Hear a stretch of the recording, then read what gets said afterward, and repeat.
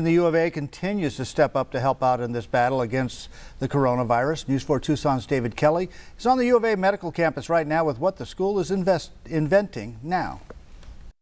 I said last week there are some research universities that make things happen, and there are some research universities that wonder what the hell is happening. U of A continues to be one of those research universities that is making things happen. Last week, U of A was producing COVID 19 test kits. Now they're producing PPE. That's right, personal protective equipment like surgical masks.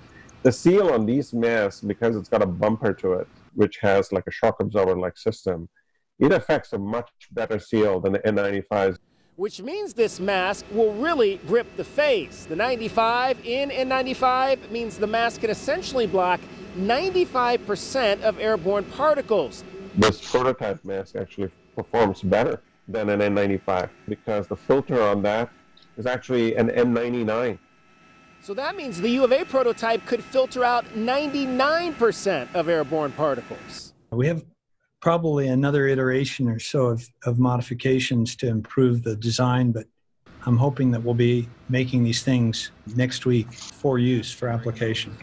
And once U of A's 3D code is approved by the National Institute for Occupational Safety and Health and the Center for Disease Control, the university expects it'll be able to produce about 1,000 masks per week. Not to mention that single code can be shared for mass production around the world.